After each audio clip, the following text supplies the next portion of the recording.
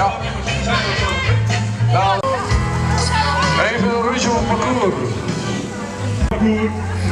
En dan gewoon één rondje. Aangevraagd om alle deelnemers uh, weer in de binnenring plaatsnemen. De ketting, Aankomen, je kan je nog in. Vijf jaar van dit gebouw vandaag hier kunnen vieren in deze... Ja, we zijn er! En de race is begonnen. En de inkomst, alle politie weer. Slalom, Ja, van de eerste mans. Door de finish. Doorstart weer terug. En we krijgen hier een hele moeilijke wissel. Een hele lastige wissel. En Olga en Wien zijn weer. Maar deze zijn daar niet geslagen, Marcelo. De laatste appels. De appels. Dat is een goed duo hoor. Het gaat best goed. Marcelo zit er echt vlak achter. En de voorronde. De laatste. Echte winnaar zijn boos. In de tijd van 1,47.